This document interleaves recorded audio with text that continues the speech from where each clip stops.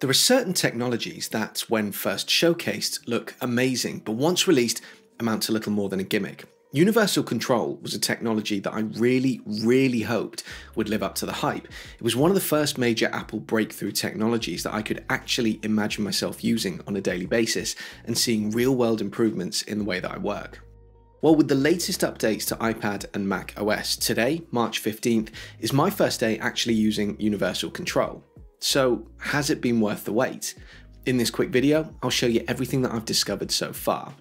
If you're not already aware, Universal Control is a technology designed to appeal to the growing number of owners of multiple Apple devices, specifically iPads and Macs. If you've got compatible devices, you can essentially use one Mac as your primary device and then make use of the input mechanics of that device, your keyboard, mouse, trackpad, etc., to control the other devices that you own.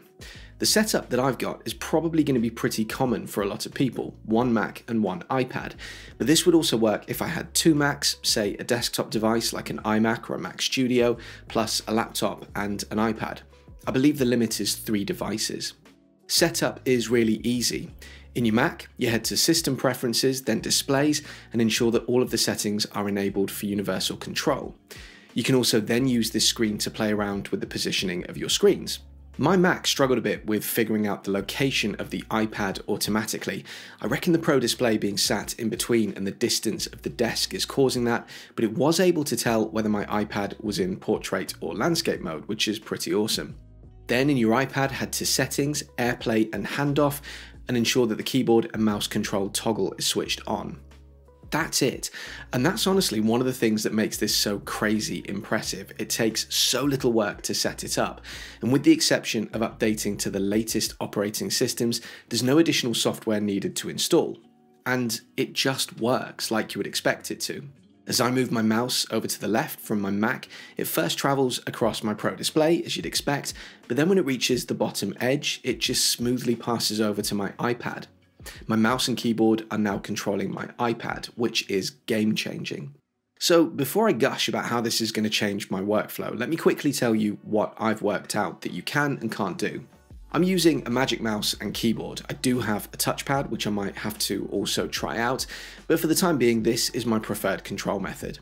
I don't know of a swipe gesture on the mouse to get back to the iPad home screen and I can't seem to find one, but I do know that Command and H does this, so I might just have to learn some more keyboard shortcuts instead.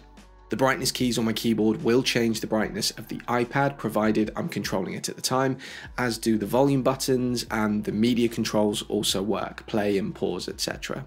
The F3 and F4 keys don't work for me, so again I'm having to rely on keyboard shortcuts instead. Command and Tab is a good one for switching between open apps, Command Option D for bringing up the dock.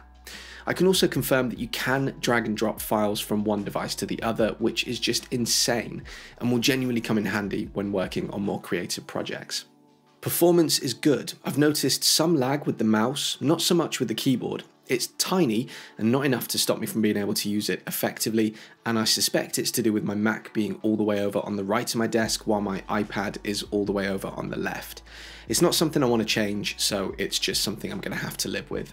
So, use cases. Well, in its most basic form, what you're getting here is an additional screen to use along with your other screens, but you're not having to use any of the power of your device to have that additional screen. Sidecar, for example, has been around for a while now, but that's basically turning your iPad into a display, nothing more. This is using the power of your iPad or your secondary Mac, whilst still giving you full control over it. That's pretty exciting, and the use cases are pretty much unlimited. I'm guessing it's no coincidence that Apple have released this at the same time as the Mac Studio, because all of a sudden, I can see an argument for having a desktop Mac and a laptop Mac. Prior to this, my preference was to always go for a laptop because otherwise it would just be sitting doing nothing while you were in the office. But this kind of opens that up. Today, for example, as I was writing the script for this video, I was doing that in a Google Doc on my iPad using the keyboard and mouse of my MacBook Pro while my MacBook Pro rendered out a video. Or you could be working on your main Mac while a secondary Mac or iPad sits with your Mail app open, or Twitter, or Notion. The options here are crazy. This definitely isn't a gimmick. This is definitely something I'll be using now every day moving forward. I'm super impressed. Nice one, Apple. What about you? Have you had a chance to try out Universal Control? What's your setup like and what do you think of it? Drop me a comment and let's talk about it. And as ever, if you found this video useful, do please consider leaving me a like and subscribing to my channel for more content like this in the future. See you on the next video.